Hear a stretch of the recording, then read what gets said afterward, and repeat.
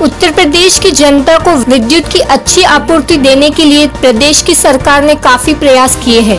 लेकिन सरकार के ही कुछ विभागों के कर्मचारी सरकार की इस मंशा को पूरी नहीं होने दे रहे। ताज़ा मामला समाज कल्याण राज्य मंत्री गुलाब देवी की विधानसभा की चंदौसी नगर पालिका क्षेत्र का है, जहाँ पर दिन में स्ट्रीट लाइट जलने के मामले में राज्य मंत्री ने कड़ा रुख अपना लिया।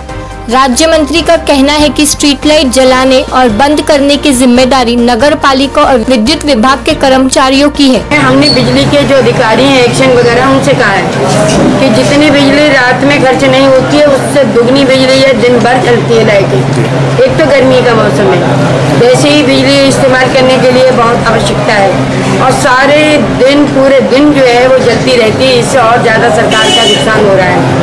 तो अगर ये नगर पालिका अधिकारी ध्यान नहीं देंगे तो इनके खिलाफ कार्रवाई की जाएगी और बिजली के अधिकारियों के खिलाफ भी कार्रवाई की जाएगी। कोई ना कोई व्यवस्था ऐसी होनी चाहिए कि बिजली का दुरुपयोग ना हो। एक तो हम लोग बचा बचा के चल रहे हैं पानी संचित कर करके चल रहे हैं बिजली को बचा बचा के चल रहे हैं। और अधिकारियों की और कर्मचारियों की लापरवाही से सारे दिन बिजली जलती है। नगर पालिका की जहाँ टंकियाँ खुली हुई हैं, वहाँ खुली रहती है। पानी बह रहा है तो बह ही रहा है तो कैसे काम चल पाएगा? तो इस संबंध में मैं सजग हूँ और प्रयास कर रही हूँ कि ये अफवाह रुक जाए। यदि इन दोनों विभागों के कर्मचारी अपनी ज़िम्मेदारी सही ढंग से निभाए और दिन निकलते ही शहर की सभी स्ट्रीट लाइट बंद कर दे तो उससे बिजली की काफ़ी बचत होगी। और जनता को विद्युत की अच्छी आपूर्ति होगी। यदि इसके बाद भी इन विभागों के अधिकारी और कर्मचारी नहीं सुधरेंगे तो उनके विरुद्ध तो उनके विरुद्ध कड़ी से कड़ी कार्रवाई की जाएगी। पब्लिक की आम जनता की भी एक जिम्मेवारी बनती है अगर कहीं भी अगर लाइट जल रही है तो वो उसे स्वतः बंद बंद कर दे। लेकिन इसके लिए नगर पालिका के कर्मचारी और विद्युत विभाग के अधिकारियों को आगे आना होगा। इसमें आप किसकी लापरवाही मान रहे हैं? इसमें सबसे बड़ी तो विद्युत विभाग के कर्मचारियों की और इनकी नगर पालिका के कर्मचारियों की है क्योंकि इनके अंदर में आते हैं। विद्युत विभाग के खंभे लग रहे हैं नगर पालिका के क्षेत्र में है। इन्हें ऐसा करना चाहिए तो इन्हें क्षेत्र वाइज वहाँ पे कर्मचारी नियुक्त करने चाहिए। कि सुबह को जब जैसे ही सुबह हो और तुरंत वहाँ पे लाइट बंद करने का ऐसा कोई प्रावधान बनना चाहिए और वास्तव में ये लाइट की बचत आज हमारे देश के लिए बहुत ज़रूरी है। मोदी जी ने एलईडी बल्ब की लिए घोषणा कर दी। एलईडी बल्ब उनके आह्वान पर लोगों ने लगाए।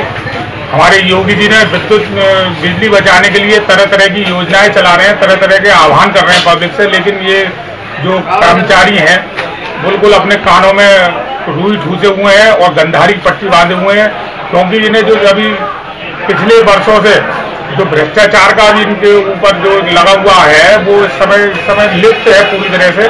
अभी नई सरकार बदली है। और हो सकता है कि योगी जी सरकार की, योगी सरकार में कोई ऐसा आदेश हो जो इन पर कार्रवाई हो।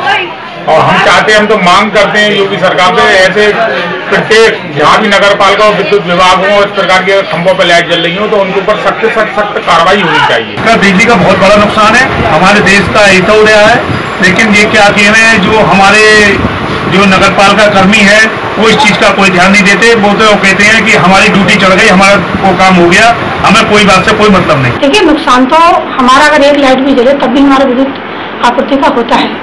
क्योंकि प्रत्येक व्यक्ति की ज़िम्मेदारी बनती है कि अगर सार्वजनिक जगह पर कहीं लाइट लगी हो तो नैतिक ज़िम्मेदारी के साथ उसको निभाया जाए कि समय से उस लाइट को बंद कर दिया जाए, ताकि हमारी जो विद्युत है वो बचे और आगे आने वाले समय में उस विद्युत का सही इस्तेमाल किया जा सके।